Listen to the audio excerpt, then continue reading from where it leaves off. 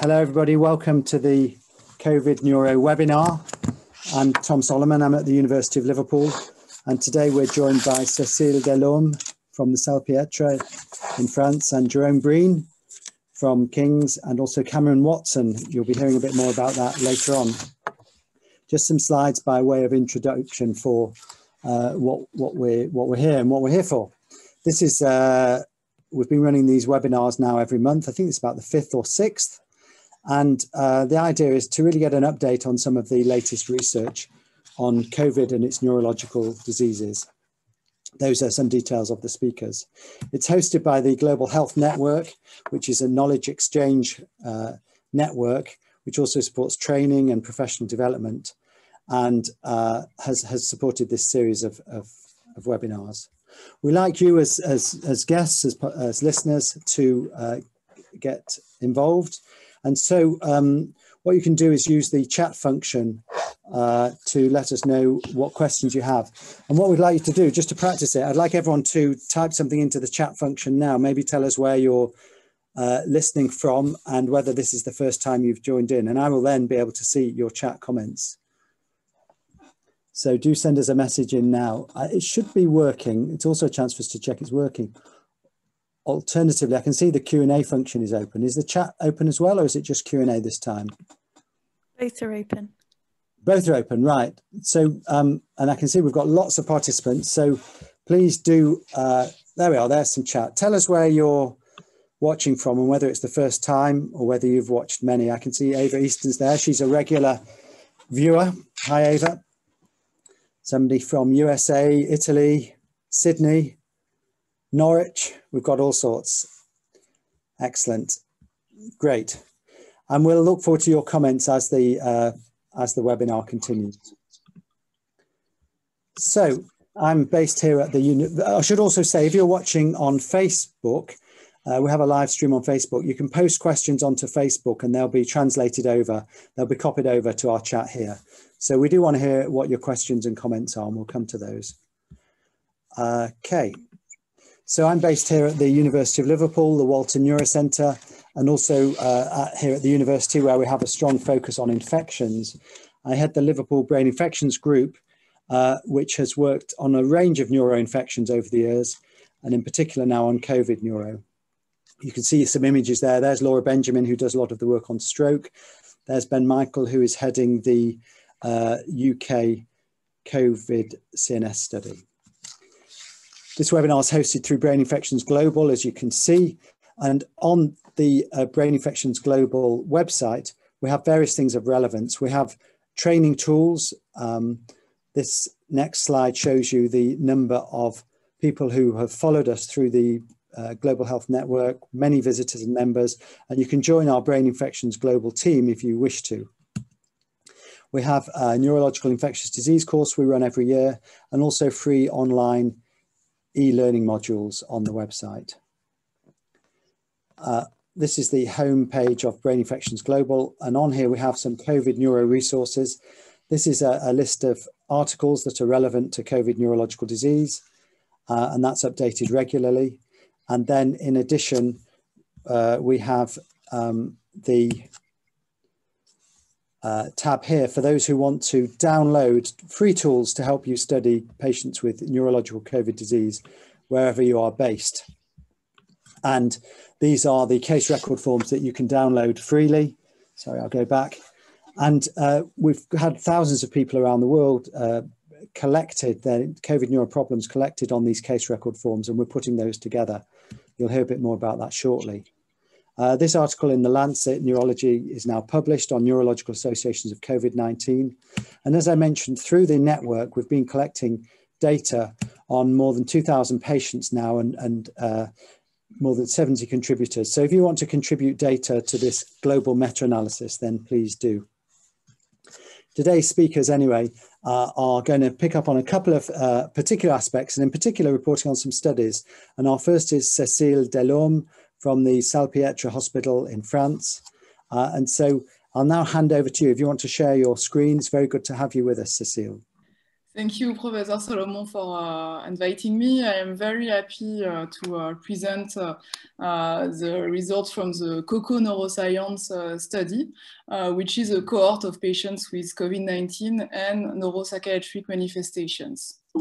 So what is really uh, exciting uh, uh, about this study, in my opinion, is the multidisciplinary approach as uh, we included um, all departments from the from fields of neurosciences, uh, from neurology to uh, psychiatry, uh, neurorehabilitation to uh, neuro-ICU, neuropathology, neurophysiology, etc., in uh, several uh, university hospitals in, um, in Paris.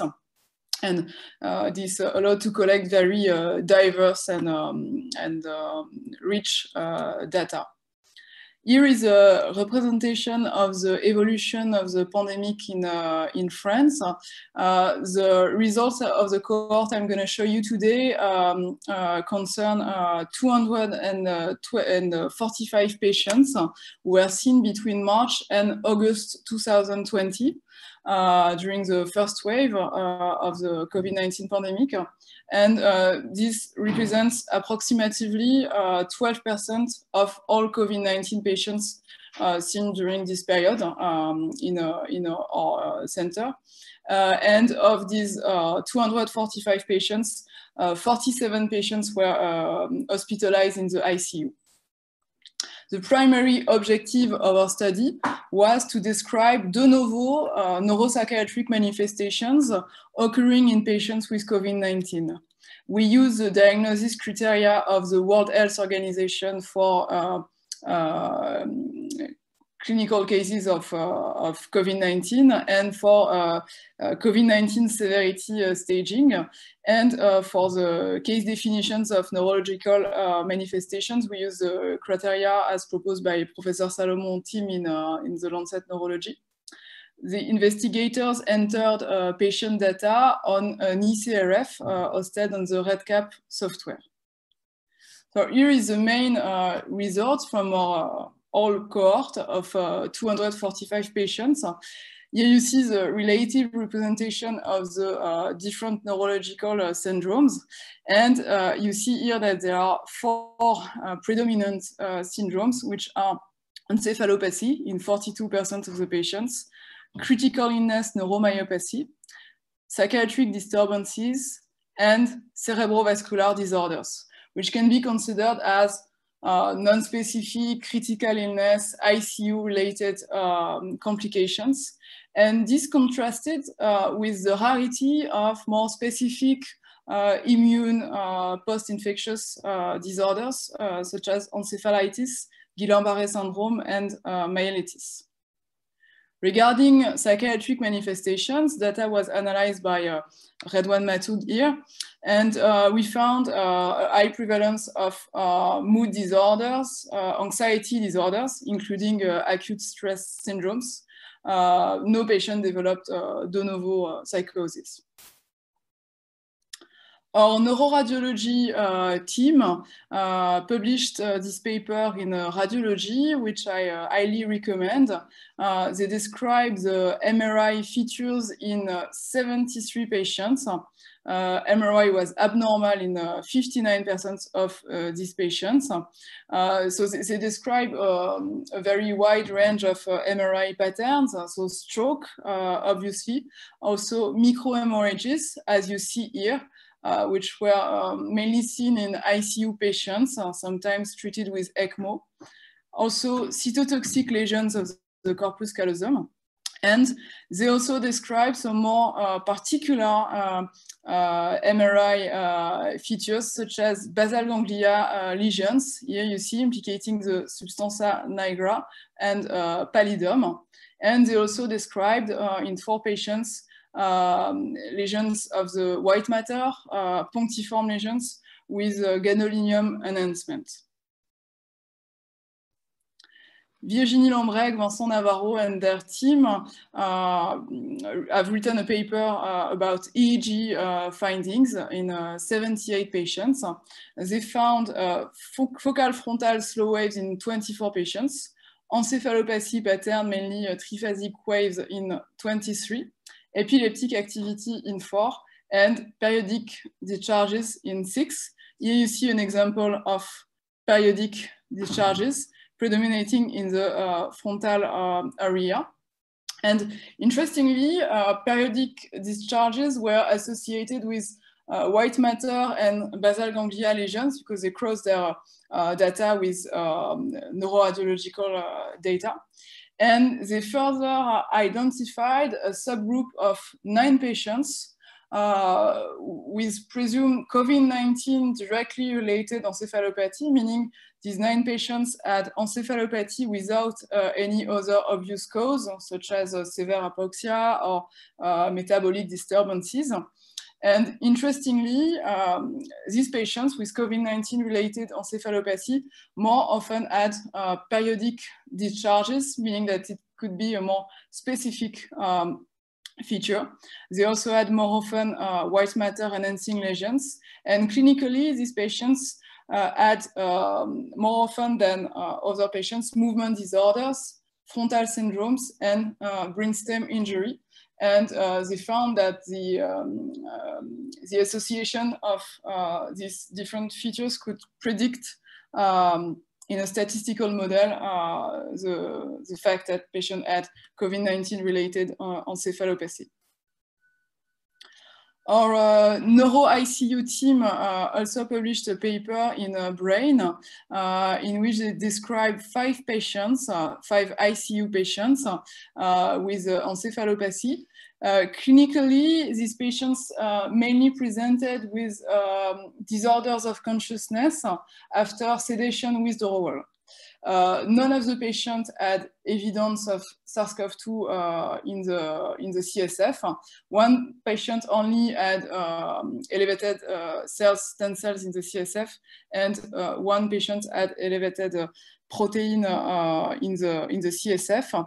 the patients often had white matter lesions on brain MRI. And interestingly, they, uh, they treated all patients with uh, immunotherapy associating corticosteroids and uh, plasma exchange. And three of the patients dramatically improved uh, with plasma exchange after a few days, even if they had been unresponsive for months. Uh, which strongly argues for an immune mechanism in these cases of COVID-19 related encephalopathy. We also published a paper um, in uh, four patients with um, also presumed COVID-19 related encephalopathy. Uh, these patients had uh, uh, focal neurological signs and um, clinical uh, features of encephalopathy without um, uh, another uh, cause uh, for encephalopathy. And we investigated these patients with FDG PET CT, and we found a common pattern of hypometabolism in the frontal cortex, the prefrontal cortex, and hypermetabolism in the cerebellum, which is a pattern consistent with encephalitis. And we went uh, a bit further with uh, Aurélie Kas, uh, who is chief of department of nuclear medicine in La Pitié-Salpêtrière. Uh, she performed uh, quantitative analysis in seven patients with COVID-19 related encephalopathy compared to a group of controls.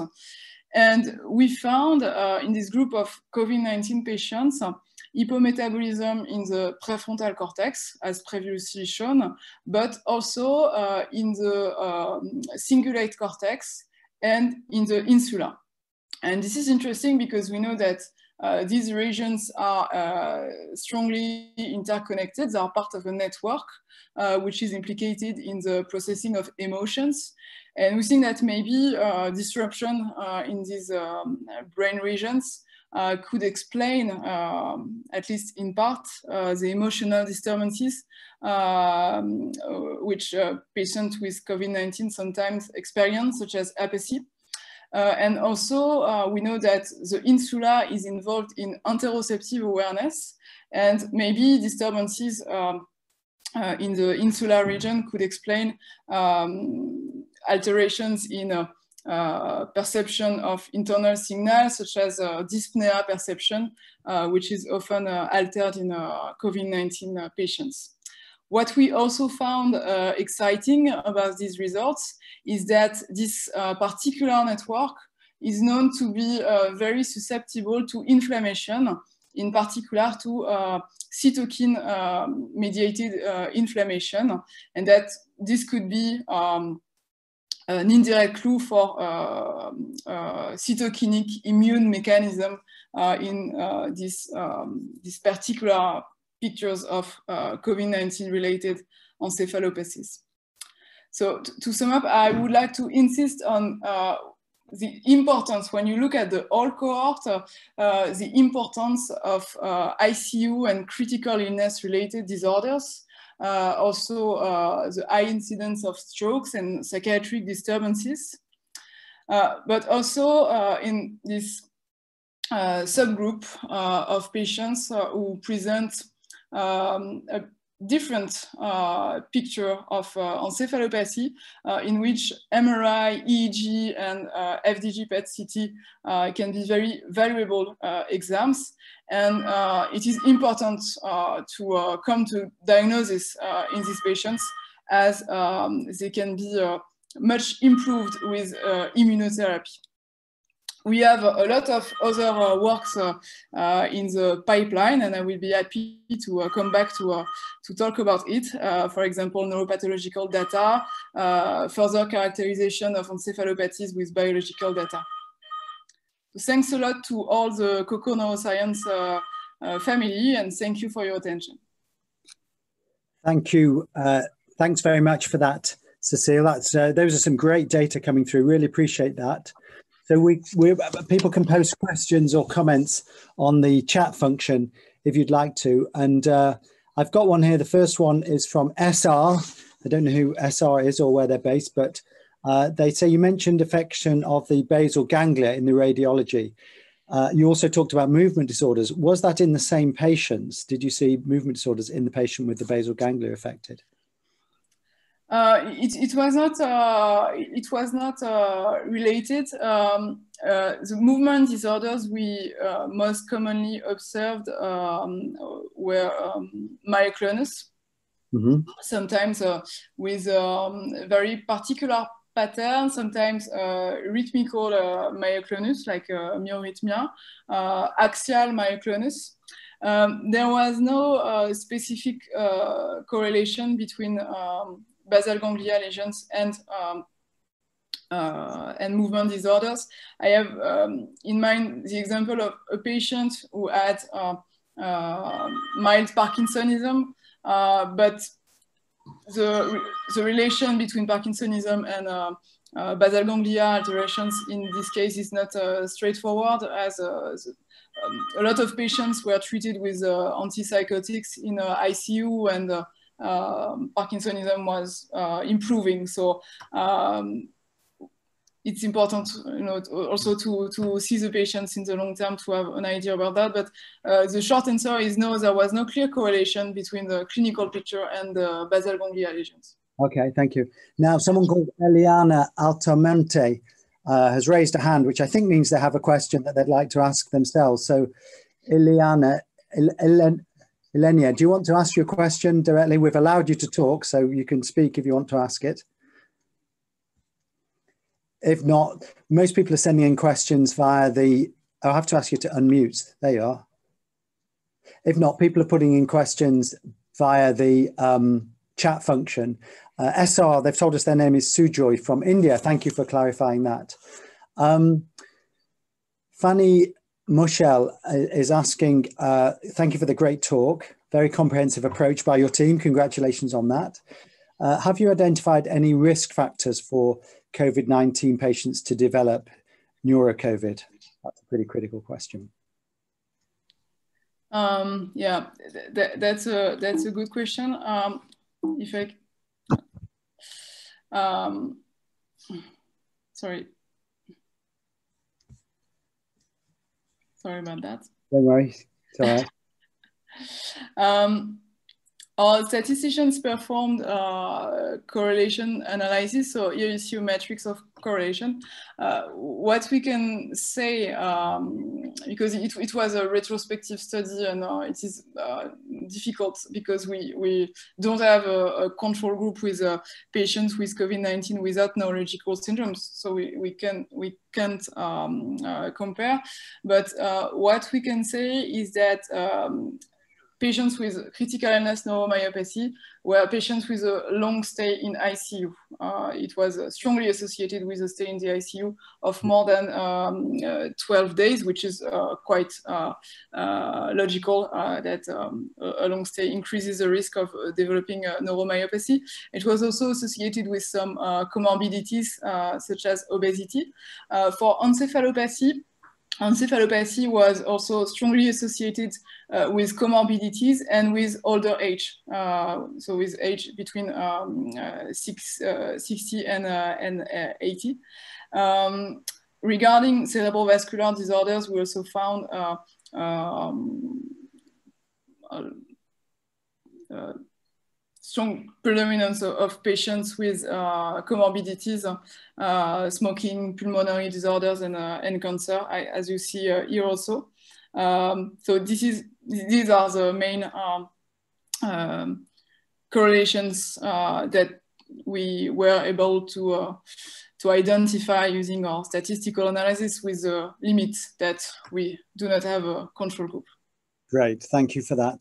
One thing I was going to ask you about, you mentioned immunotherapy, and you've, you've published that nice paper in Brain.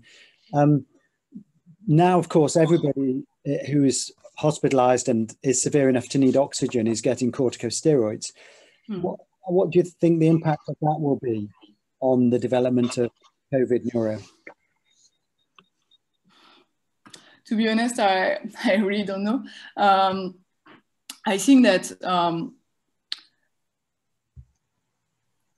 corticosteroid uh, responsive uh, encephalopathies really represent um, a, minority of um, uh, central manifestations of uh, COVID-19 um, because when when you look at the details uh, of the, the files of patients with encephalopathy. So this is a work which is ongoing, by the way, with uh, our team of uh, geriatricians.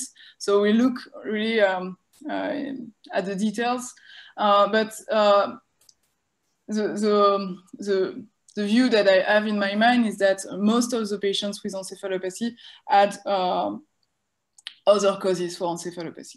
Yeah. So they were older patients. Uh, they had uh, um, severe uh, hypoxemia. Uh, some of them had uh, multisystemic um, disorder. Uh, they had um, kidney dysfunction. they had metabolic dysfunctions. Iatro, iatrogeny also from um, um ICU drugs, etc. So I think this really represents majority of uh, patients with uh, with encephalopathy, uh, and um, and that the immune um, encephalopathies really represent a, a, a small uh, a small subgroup. Uh, but in this subgroup, it, it can be uh, interesting. Um, the experience of our neuro ICU team because they treated, they, they published these five patients, but um, they, they they, they tried uh, corticosteroid immunotherapy uh, in uh, more patients.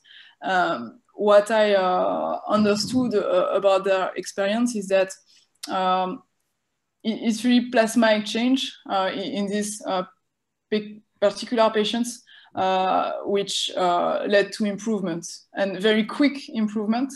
Um, with corticosteroids, it's not that it's not that clear. Uh, sometimes it can improve, but with time, so it's uh, always difficult to uh, disentangle this from uh, natural evolution. Uh, but with plasma exchange, seems to be something very quick uh, and. Okay, thank you. There are more questions, which is great. So we may come back to these other questions later on in the in the general discussion. Um, but for now, uh, thank you very much, Cecile. That, that was fantastic.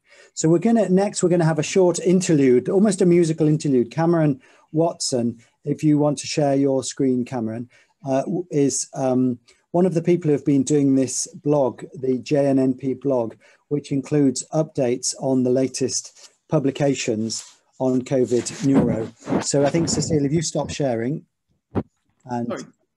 Cameron, if you do share. Uh, Can you see that okay? Uh, yeah, I think we think something. Hold on, there we go. There we are, great. So Cameron is going to, many of you will be familiar with this, this blog, which has the uh, uh, updated publications. And I asked Cameron just to choose five and talk us briefly through five papers that he thinks everybody should read.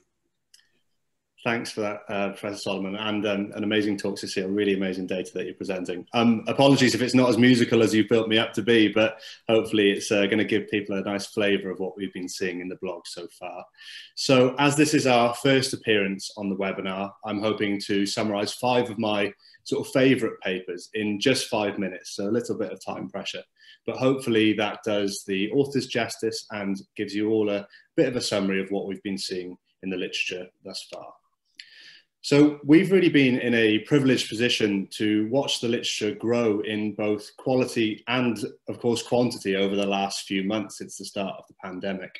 Um, perhaps the most seminal sort of initial paper to identify the true breadth of possible neurological and psychiatric manifestations in COVID-19 was this first iteration of the ongoing CoRoNerve study, which Tom has already spoken about, led by Ben Michael and others. And now, in the first three weeks of this UK wide surveillance study, physicians reported 153 cases of patients right across the age range from 23 to 94. Now, the majority of these patients had a cerebrovascular event, which is tied in quite nicely with more recent sort of studies. And actually, 31% had an altered mental status. Out of those with altered mental status, 40% were diagnosed with an encephalopathy, and the remainder actually had psychiatric diagnoses ranging from psychosis to cognitive and affective syndromes. Now, importantly, in the majority of these cases, they were new diagnoses. So whilst cerebrovascular events predominated in older patients, conversely, the altered mental status actually had a disproportionate representation in the young patients who reported to the surveillance study. Now, although limited prevalence data can be taken from something that is physician report only, this paper really laid the foundations for what was now, or what is now really uh, a really wide-ranging study of a varied um, set of potential COVID-19 CNS manifestations but there's been a bit of debate on you know how these manifestations are actually caused and the authors of this particular study which i, I really do like um, asked whether there was any evidence of sars-cov-2 antibodies within the csf of eight encephalopathic patients with covid-19 now this is important because several case series have found no evidence of sars-cov-2 RNA in the CSF of COVID 19 patients, which is ratified by this group as well. So they conducted routine CSF analyses and full autoimmune screens, which all came back as negative. However, interestingly, all patients had high titers of anti-SARS-CoV-2 IgG in both their serum and their CSF.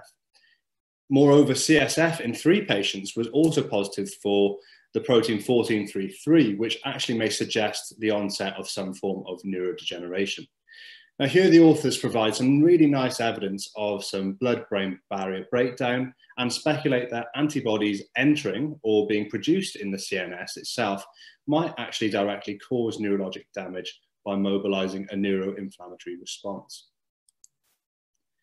Now we've mentioned cerebrovascular disease. It's something that came up quite early in the literature and it seems to occur in around 2% of admitted patients with COVID-19 and actually seems to also coincide with a, a, high rate of large vessel occlusions.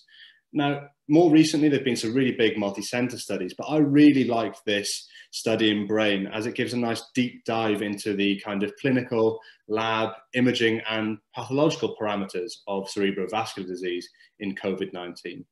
So just under 1.5% of their cohort developed an acute cerebrovascular event, and amongst the 17 were ischemic strokes, 10 of which had large vessel occlusions. The overall clinical outcome was pretty poor actually. However, regression models only found age as an independent prognostic factor. But the real sort of nice part of this paper is the, the dive into the, the potential pathology that's going on.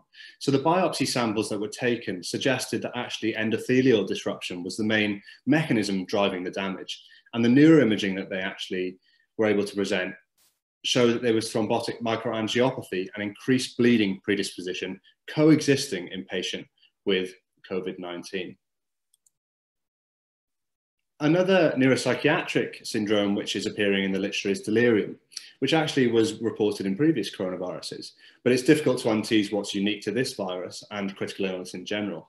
But a nice observational study of hospitalized older adults and older adults in the community asked whether the presence of delirium was common in elderly cohorts with COVID-19. They found delirium to be far more common in frail older adults hospitalized with COVID-19 compared to non-frail adults of the same age. So this study really urges clinicians to suspect COVID-19 and was kind of uh, seminal in the fact that it changed opinion in that we should be assessing changes in mental status when assessing this population. Now, no one really wants to return to the catastrophic sort of spread and preventable hospitalizations amongst frail, vulnerable older adults. So if we're able to identify features like delirium, hopefully that will mitigate those in future.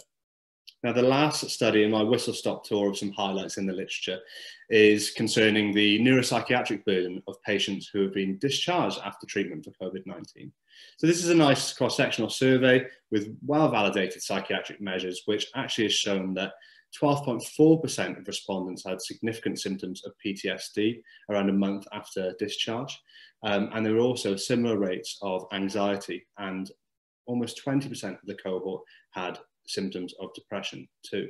Interestingly, perceived discrimination was actually ranked as the most important predictor of these. So sorry, I'll take a breath and I'm apologizing for the, the rapid nature of the talk, but hopefully I've gone through it okay. Thank you all for listening. And um, to get any more detailed summaries, please do, please do visit the blog. And I've also put our contact details on here. If you'd like to get in touch or involved with any of the work that we're doing, we, we love new recruits. So um, that, that would be great. Thanks a lot for your time. Thanks, Cameron. That was fantastic. A very good run through of some of the most interesting recent papers. Um, do that's the first time we've done that. So please, people, do let us know if you liked the literature update like that and if you'd like more of that. Um, meanwhile, let's move on now. Jerome Breen is uh, from King's in London is going to present to us on RAMP, the repeated assessment of mental and neural health uh, study, and also the coping study. So Jerome, over to you. So I should say that I'm a, I'm a psychiatric geneticist. I'm not a clinician. So I'm, I'm somewhat of a uh, interloper into this space. But um, I'm going to talk to you about uh, large scale studies of surveillance really of mental and neurological symptoms in the community uh, during COVID-19. Um, so you all know this literature extremely well. Uh, we know that COVID-19 is having acute uh, neuropsychiatric and neurological effects we also know that COVID-19 infection may be causing some degree of brain injury, even in those people who aren't aren't admitted to ICU, for example, or or hospitalized. Um, we've been running a study called Coping, and another very similar study in over social media called RAMP, where we've uh, attempted to uh, do a very detailed baseline assessment of people's psychiatric uh, diagnoses and symptoms, uh, somewhat briefer assessment of their neurological signs and symptoms, and then added, and then various aspects of behavior uh, related to um, the pandemic and compliance with pandemic measures, as well as alcohol and drug use and so on.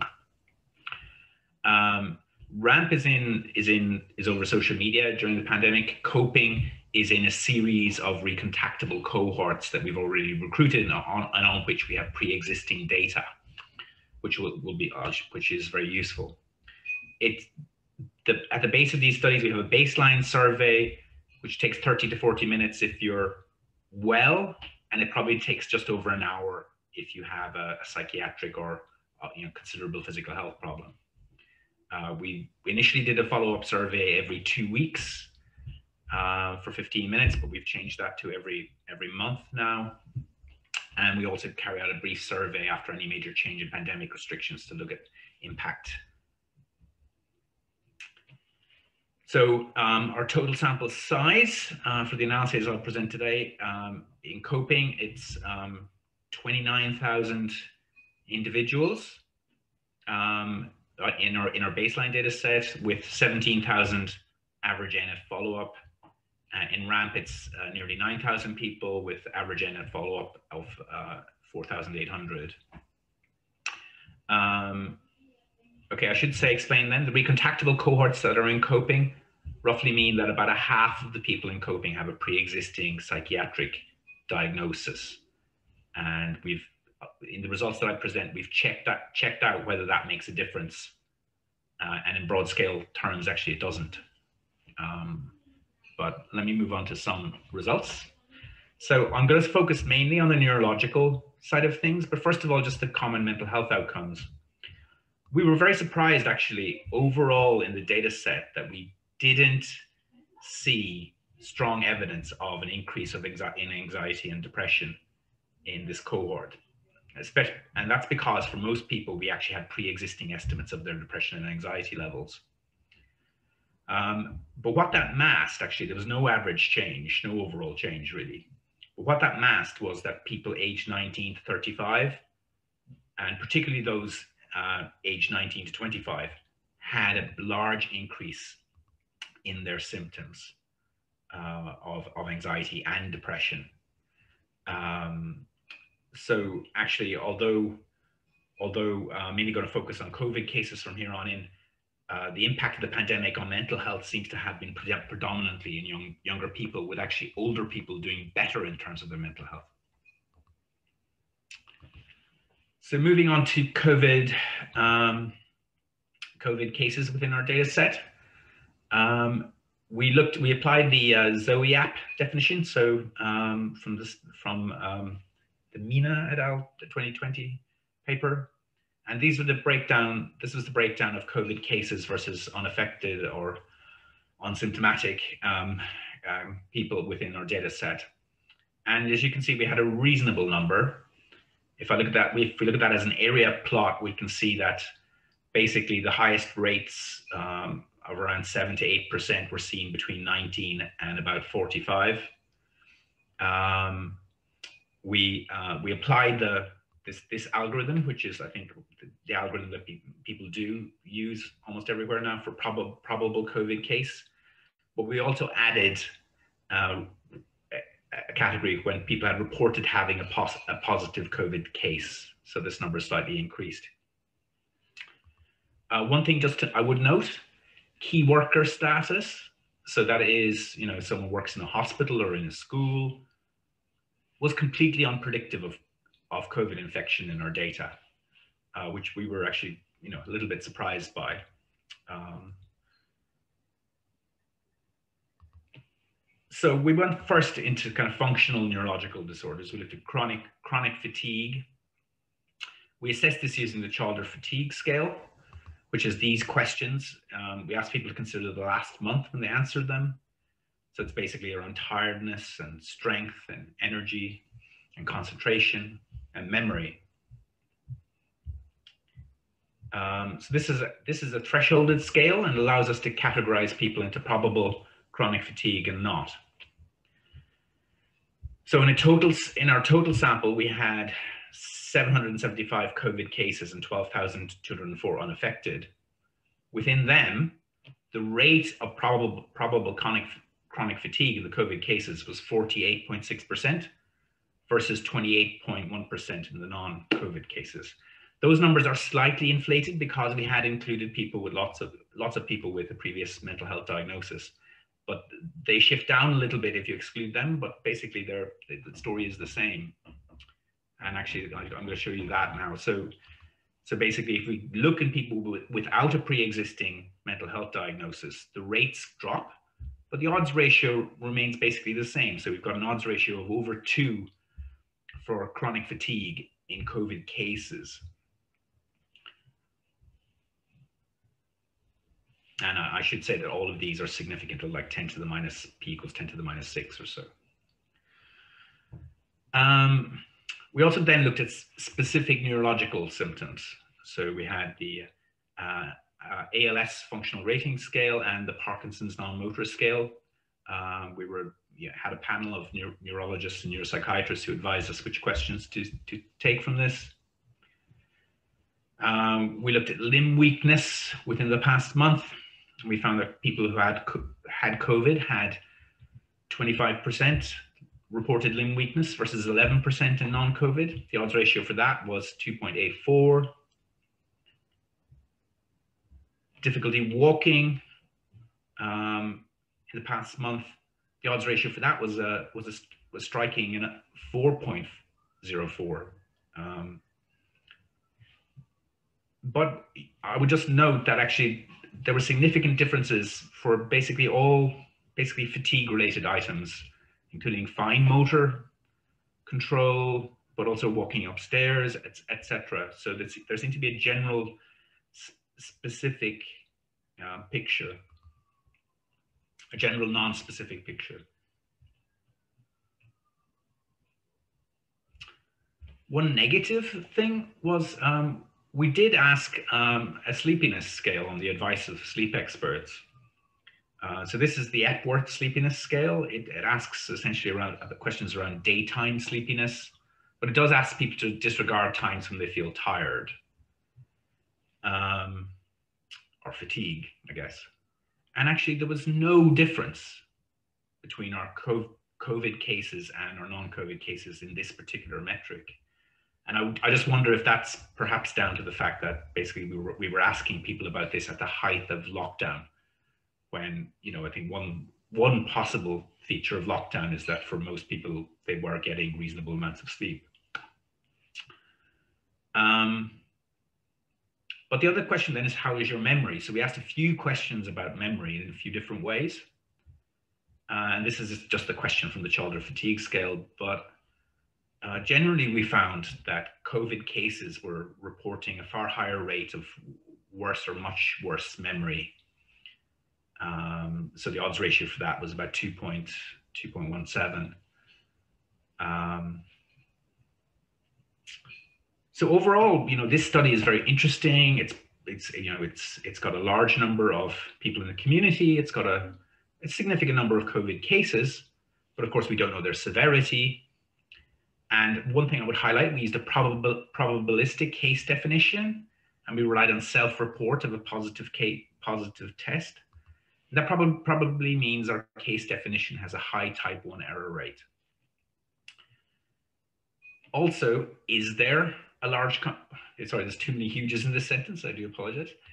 Um, is there a contribution from the relatively huge social and economic uncertainty that, that um, people are undergoing. And, you know, there are things in the data set that we also see that rates of domestic violence and alcohol use are uh, seem to have really spiked since the since the start of the pandemic. And is that contributing to, for example, chronic fatigue uh, symptoms? Um, so basically, the fatigue and memory problems we're seeing could be indicative of functional neurological problems or deficits due to COVID-19, but they could also be due to other factors. And we know that COVID-19 affects the brain and body in diverse ways across diverse organs. So our next step then will be to confirm if these problems are mechanistically associated with the direct effects of COVID-19 infection. We're going to do this in something called the COVID CNS study, which is led by myself and Ben Michael in Liverpool. Um, this has just got funded. It's a 2.8 million pound study and is a collaboration across both neurology, uh, psychiatry, and basic neurosciences. And I'm not going to name all the acronyms here, but we, we basically are very happy with the collection of uh, people involved and the, the basic institution supporting this study. Uh, our basic research question is what are the clinical characteristics and mechanisms of acute COVID-19 neurological and neuropsychiatric complications? I'm not going to talk you through all our aims, but it's quite biology, but also kind of social focus, has a social and medical record focus to try and understand the interplay of risk factors. Um, this just shows, shows our study design. Sorry, there seems to be a slight formatting error on my part here. Um, but essentially, we want to recruit 800 uh, cases with an acute neurological or neuropsychiatric complication in hospital, compare them to around 500 controls, some of whom were admitted to hospital for COVID, some of whom were admitted to hospital for non-COVID reasons. And then we'll compare them with data from uh, the coping study, which I've just presented to you. We're going to recruit them from all four UK nations, and we'll probably have upwards of, of 15 centers involved in the study. Um, our plan is to is to uh, carry out a, a single in-person assessment, uh, um, you know, probably one to nine months post-discharge actually, at which we will ass assess psychiatric symptoms and history, do online cognitive tests, uh, as well as a, a, neurological physical exam. Uh, we will carry out case note review, filling in electronic CRFs for neurological and other clinical information, and carry out neuroimaging in uh, about two thirds of participants um, for a variety of purposes. Everybody will have genetic data generated, and then we'll be uh, we will follow up people online and through their medical records uh, at least two times further within the study. I will finish here. Sorry, I, I rushed through that to try and try and give you a flavor of what we're doing. Obviously, it's a complex study. I'll be happy to take any questions. Thanks, Jerome. Thank you very much. That was really excellent run through. Um, so people can please post their questions on the chat function. And also, uh, Cecile, if you want to turn your uh, camera on and your microphone on again so that uh, you can join in some of the discussion. Um, let's see, we've got a question from Anna Sanford James uh, in relation to your talk, Jerome, were there or are there any measures of cognitive functioning taken? Uh, I think yeah, that, that, might have been. Yeah. So yes, I mean, basically, in co in coping and rapid, yeah, no, we didn't. Yeah, we only have a sort of implicit um, kind of cognitive function where we ask people how their memory is, how the concentration is, etc. We do actually have though like the timings of how long it took them to complete certain questionnaires, so we could infer some things from that if we wanted to. But however, in this COVID CNS study, we are actually doing a formal set of cognitive tests, and that should allow us uh, to assess actual, you know, functional domains impacted, cognitive domains impacted, and we're, we're, we're we will assess kind of pre-morbid levels of functioning in a subset of people as well. Great, thank you. Um, I want to know, says uh, MD Arman Ghazi, about PTSD in brief. Um, yeah, so PTSD, um, if I could tell you, if I can answer that question next week, it would be great because we haven't, I mean, we were analyzing that data like late last night and this morning. So we, PTSD is next up. Um, I do, I do expect, yeah, I mean, I think, yeah, there will be a, I, I would lay a lot of money that there's going to be quite a good signal on PTSD.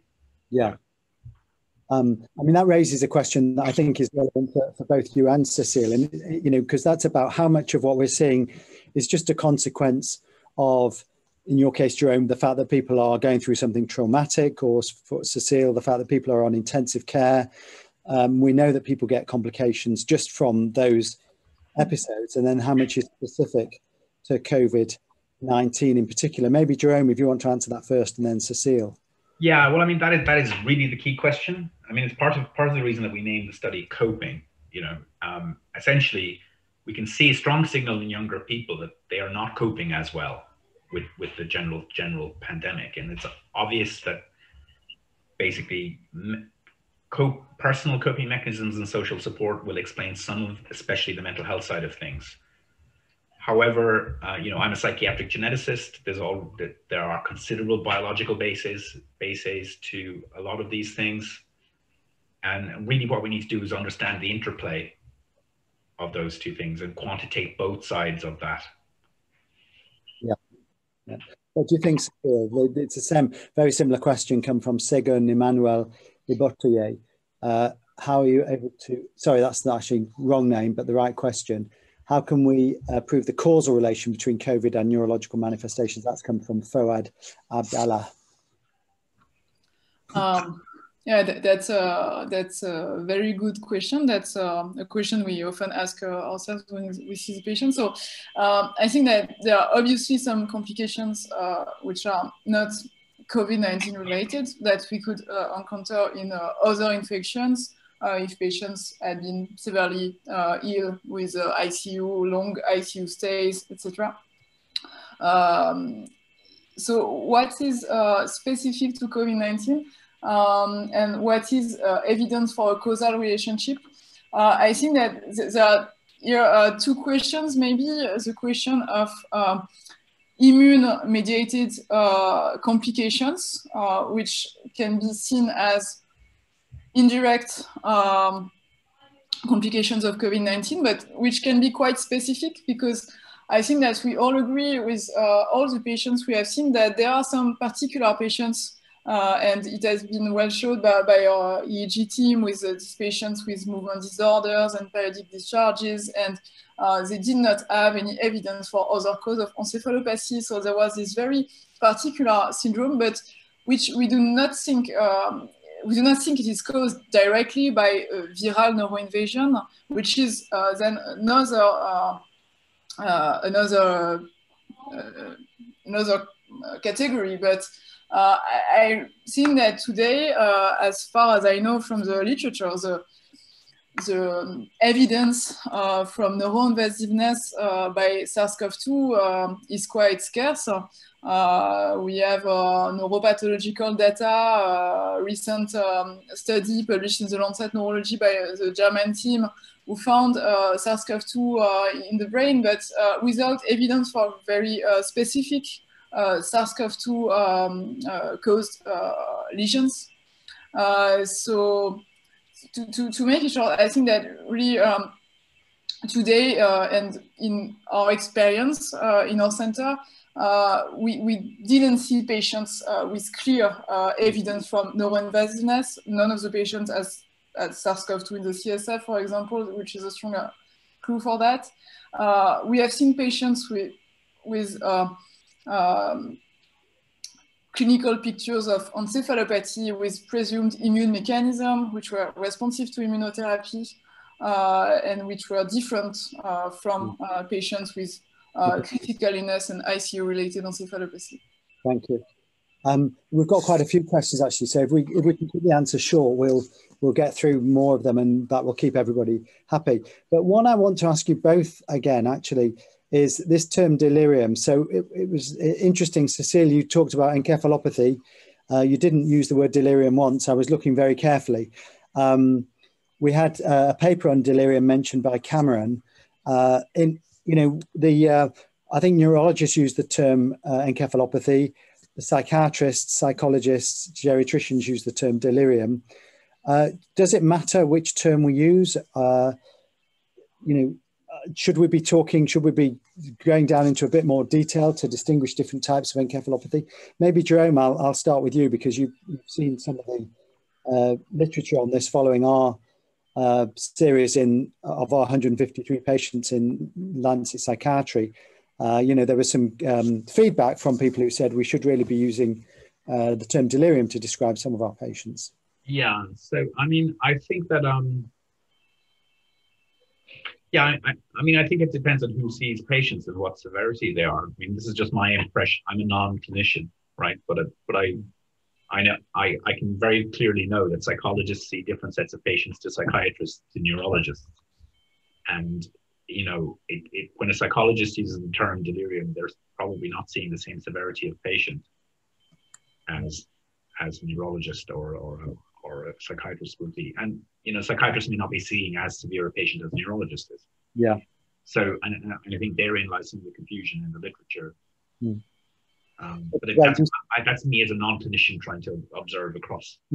You're an impartial, impartial observer. Cecile, do your geriatric and ITU colleagues uh, um, get cross with you for not distinguishing delirium from other forms of encephalopathy? Yeah, we use the term encephalopathy because yeah, I think it is a very uh, uh, comprehensive uh, term. Um, it's true that uh, geriatry and ICU uh, colleagues often use the term del delirium, uh, and for me, it refers to this kind of agitated awakening uh, after sedation withdrawal. Uh, so we prefer to use the term encephalopathy to be very um, inclusive mm. for all yeah. dysfunctions because uh, some uh, patients with delirium uh, were responsive to immunotherapy, for example, even if they had classical delirium mm. pictures. So I think that to the term and what you put, which patient you put under every umbrella term is not mm.